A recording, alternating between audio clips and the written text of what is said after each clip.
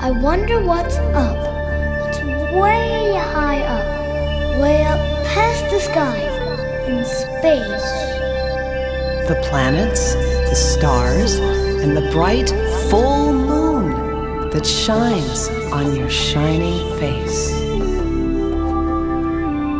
And next time we see it, It's different. Wow, it looks like an orange slice. a half moon hangs in the night, shadows hiding the full moon's light. Come out tonight and we'll look again. I see a banana moon. The crescent gets thinner and thinner until it's gonna be gone pretty soon. Gone? Can the moon be gone? Well, it never really goes away. The moon's called new when it can't see you, you can't see the moon today. The full moon's back. Can we visit up there? Well, maybe, but not tonight. You need a rocket.